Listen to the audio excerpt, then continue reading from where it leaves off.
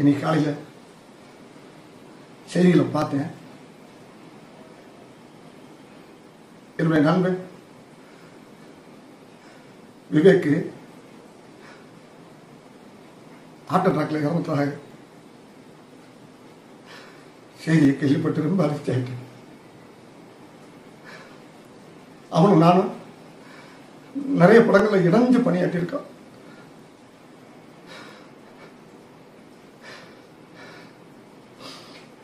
அவனை பற்றி பேசும்போது துக்கம் தொண்டை அடைக்குது. எனக்கு ரொம்ப நல்லது. புது சிந்தனை அதிகமாக இருக்கு அவனுக்கு.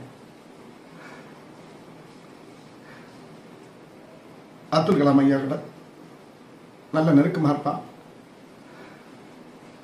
அதே மாதிரி விழிப்புணர்வு பிரச்சாரம் மரத்தை நடுறது அப்படி எவ்வளோ விஷயம் பண்ணுவான்? ரொம்ப உரிமையாக நானும் என்னடா வடிவேலு?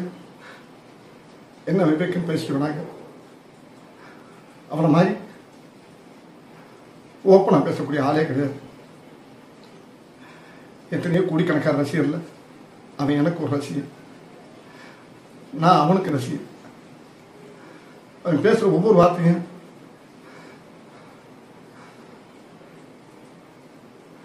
மனசுல பதிகிற மாதிரி இருக்கும்.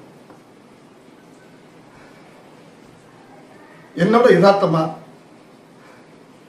எளிமையா பேசுவான். அவனுக்கு இப்படி ஒரு மரணம் வந்தது. ரொம்ப கஷ்டமா இருக்கு என்னால முடியல. இந்த நேரத்தில் நான் என்ன பேசுறேன்னு எனக்கு தெரியல.